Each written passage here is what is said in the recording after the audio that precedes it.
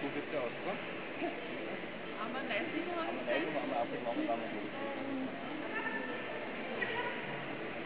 소리 소리